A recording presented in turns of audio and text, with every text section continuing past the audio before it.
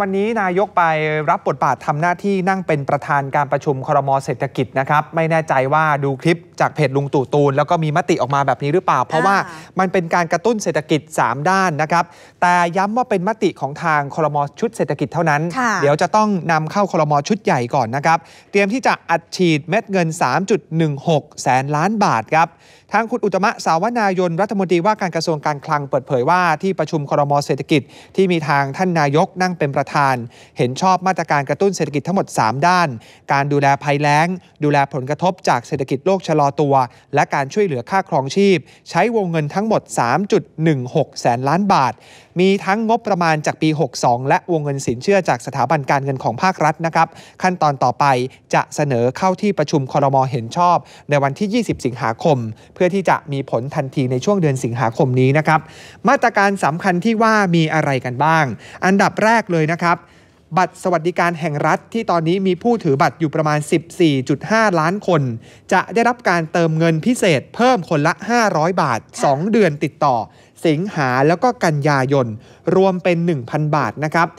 กลุ่มผู้สูงอายุที่ถือบัตรก็จะได้รับเช่นเดียวกัน กลุ่มสุดท้ายคือเงินเลี้ยงดูบุตรสำหรับผู้ที่ถือบัตรนะครับตั้งแต่แรกเกิดจนถึง 6 ปี เดือนละ 300 บาท ติดต่อกัน 2 เดือน ทั้งหมดในมาตรการนี้จะใช้เงินประมาณ 20,000 ล้านบาทนะครับใช้เงินจากกองทุนประชารัฐเพื่อเศรษฐกิจฐานรากนั่นเอง ส่วนมาตรการกระตุ้นการท่องเที่ยวนะคะ เห็นชอบให้แจกเงินให้กับผู้ที่เดินทางท่องเที่ยว ในจังหวัดนอกเขตภูมิลำเนาจำนวน 1,000 บาท จะต้องมีอายุ 18 ปีขึ้นไป แจกแค่ 10 ล้านคน คนที่ได้รับสิทธิ์เนี่ยจะต้องไปลงทะเบียนขอรับสิทธิ์ ผ่านแอปพลิเคชันที่กระทรวงการคลังเขาจะทำขึ้นมา แล้วก็จะให้ผู้ที่ได้สิทธิ์เนี่ยสามารถเอาใบเสร็จที่เป็นค่าใช้จ่ายจริงจากการท่องเที่ยวอะค่ะ เอามาขอคืนเงินได้อีก 15%ของค่าใช้ช้จ่ายที่ไม่เกิน 30,000 บาท ซึ่งรายละเอียดทั้งหมดจะชัดเจนหลังจากเสนอคอรมอเห็นชอบแล้ว แล้วก็ยังมีการพิจารณายกเว้นวีซ่าให้กับนักท่องเที่ยวจีนและอินเดีย แต่ก็ต้องขอหารือก่อนว่าจะนานแค่ไหน แต่ที่มีข่าวก่อนหน้านี้ก็คือปีหนึ่งค่ะใช่ครับ ส่วนการแก้ไขปัญหาผลกระทบจากภัยแล้งนะครับจะมีการปรับลดอัตราดอกเบี้ยเงินกู้สำหรับลูกค้าธนาคารทกส1ปี ให้สินเชื่อฉุกเฉินจากทกสคนละไม่เกิน 50,000 บาท ปีแรกจะฟรีดอกเบี้ยด้วยรวมวงเงิน 50,000 ล้านบาทนะครับปล่อยสินเชื่อฟื้นฟูความเสียหายจากผลกระทบภัยแล้ง รายละไม่เกินปีละรายละไม่เกิน 5 0 0 0 0 0 บาท วงเงินรวมก็จะเป็น 5,000 ล้านบาท พร้อมทั้งขยายเวลาชำระหนี้เงินกู้ของทกส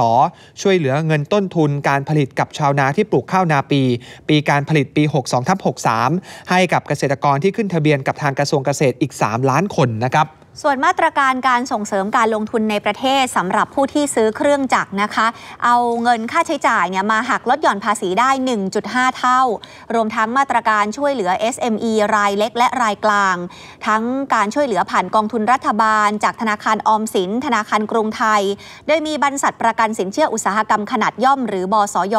ช่วยค้ำประกันให้ แล้วก็จะมีสินเชื่อบ้าน จากธนาคารสงเคราะห์ และธนาคารออมสิน วงเงินรวม 52,000ล้านบาท สุดท้ายก็จะเป็นมาตรการพักชำระหนี้เงินต้นให้กับกองทุนหมู่บ้านและชุมชนเมืองค่ะ ทุกมาตรการที่เล่าให้ฟังไปนะครับ จะมีวงเงินเข้าสู่ระบบเศรษฐกิจประมาณ 3.16 แสนล้านบาท แบ่งเป็นวงเงินจากธนาคารรัฐ